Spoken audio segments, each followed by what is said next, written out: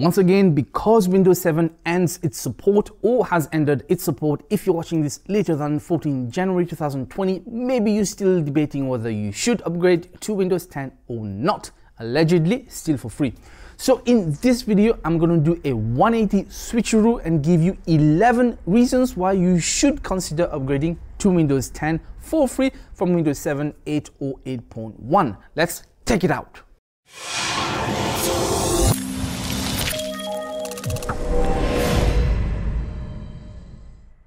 Hey tags and welcome this is Ash from My Tech. If you're new here on this channel, I want to help you develop a better relationship with technology. So consider subscribing, click the bell icon to go from newbie to techie. And please use my Amazon affiliate links in the description below to help out the channel with no extra cost to you. Thanks a million. In the last video, we did 11 reasons why you shouldn't upgrade to Windows 10. So what's the dealio? Well, the fact is that for some people, Windows 10 will be the better choice, not because they want to, but because they have to.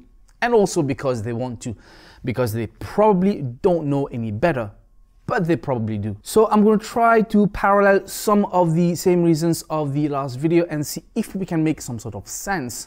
Also, the Windows 10 upgrade is with respect to both upgrading from Windows 7 and switching to another OS like Linux. Number one, the most obvious reason, of course, is because Windows 7 mainstream support is ending. So security is a concern if you stick with an old Windows version.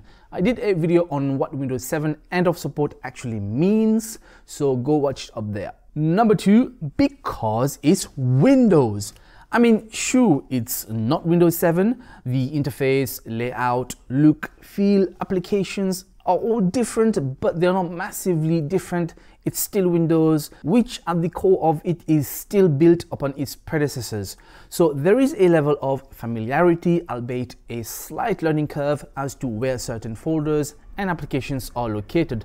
But beyond the improved architecture, it's still Windows that operating system which some people have grown up with since its inception pre-Windows 1.0, i.e. the DOS era.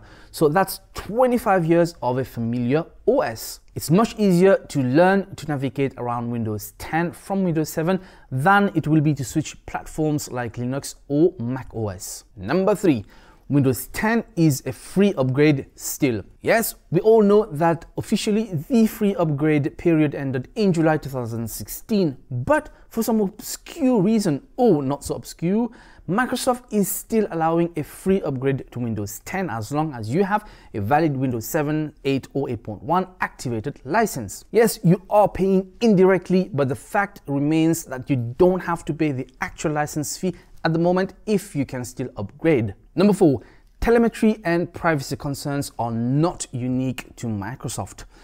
Google, Apple, Facebook, WhatsApp, and the others have increasing dodgy practices at a time when public trust regarding government surveillance is also at an all time low.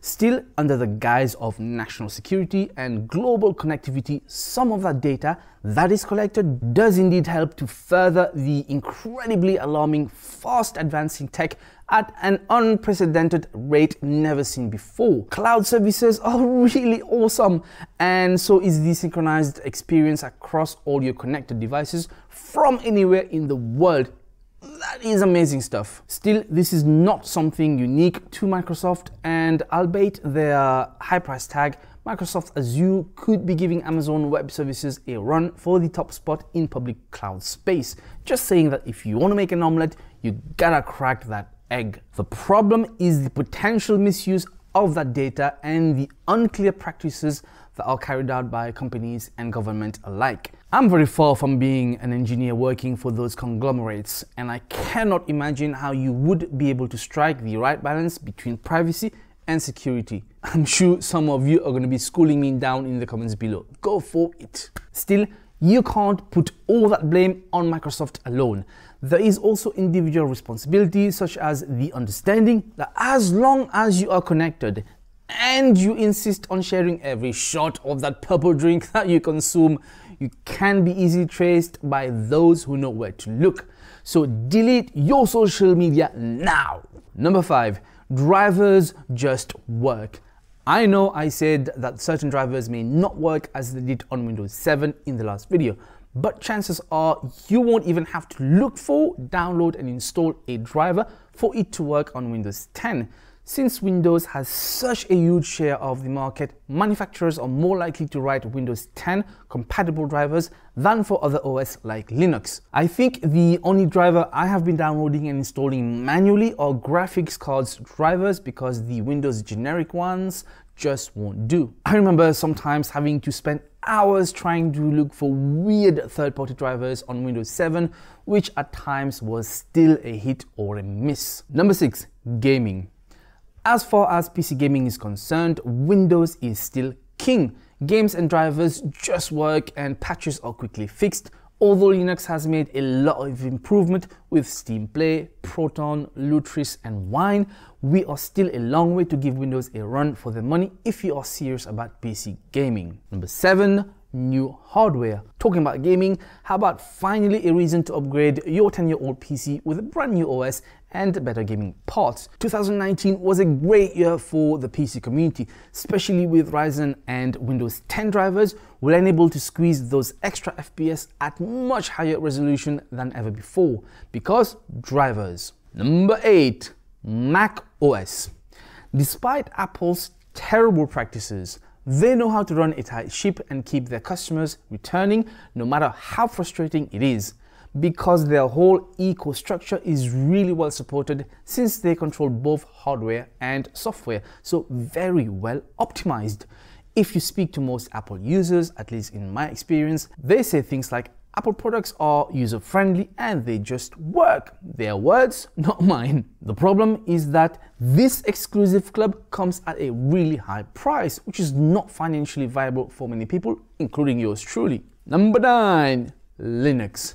So the only other choice would be Linux. But despite all the benefits that Linux brings to the table, the downside is that it can be intimidating for many people who still think that Linux requires use of the CLI and is exclusively for geeks.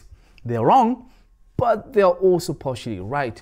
Linux can be troublesome for the following types of people. For example, if when you ask what version of Windows are you using, you say things like, oh, I don't know, it's a Dell or HP and you don't have a big pocket, then Windows 10 it is for you. You want another one? In your downloads folder, there are 10 copies or more of the same file that you keep clicking on to download. Okay, last one. Every possible file and folder is saved exclusively on your desktop. So much so, you can't even see the wallpaper anymore. If you have any more, go to town in the comments below. Number 10, Chrome OS. And if you were just about to mention Chrome OS for an all online computing experience only, have you seen Chromebook prices lately? They are ridiculously high. For the same price, you can get a brand new, fully functional, decent Windows laptop.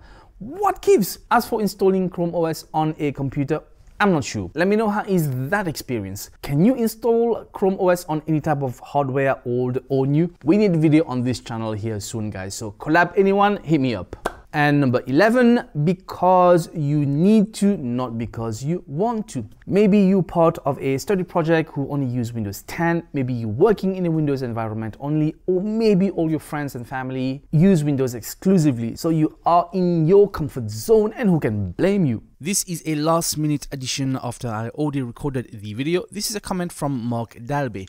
I cannot speak for power users, I am far from a power user and can only speak for myself. I dabbled in Linux in the early 2000s and it sucked and that was over quickly. I recently used Linux and though there are still problems, it has greatly improved. One of the problems is there is no small business accounting software for Linux, nada. Every small business uses some sort of accounting program. If you think you can use GnuCash, you are kidding yourself. Businesses like to stay on the same platform for everybody in the business. Until Linux comes up with an accounting system that a business will use, it will never be on a job site Adobe doesn't run on Linux. Photoshop has about 95% of the photo editing market and is an Adobe product. Anybody that thinks GIMP is just as good as Photoshop has never used both. Some things Linux is good for and some things it is not. As for forced updates, if I remember, people weren't upgrading their computers, so Microsoft forced them.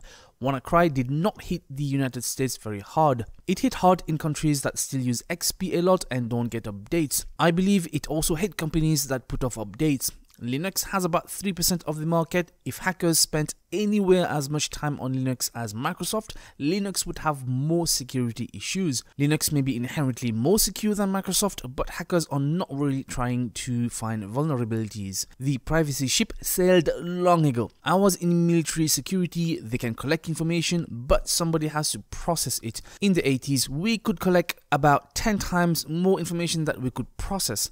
Somebody has to care.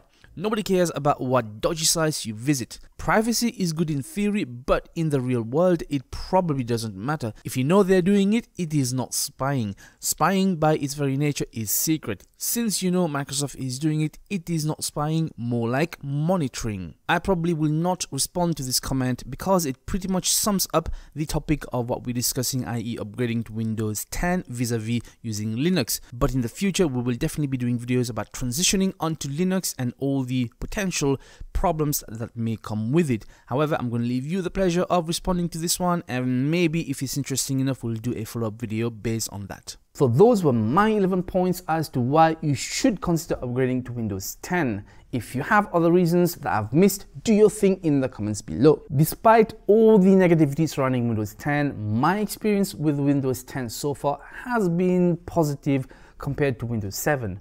Objectively, Windows 10 is a better architecture than Windows 7, no doubt. I upgraded quite late to Windows 10 because of all the early issues, but I have to say that in my experience, it is far more stable and safe than it was on Windows 7. Maybe I've been lucky, or maybe I just do better administration nowadays as a then user. Time will tell. Having said that, you guys should know my position by now. I prefer Linux, and I am here to help you transition but at the same time, not unlike some of you, I have to continue to use Windows 10 for certain specific tasks because of my situation. So check out this video up here and hop onto this one if you want to learn how to use Linux as a beginner. Don't forget to subscribe and click the bell icon and use my Amazon affiliate links in the description below and I will see you in the next one. Until next time, peace out.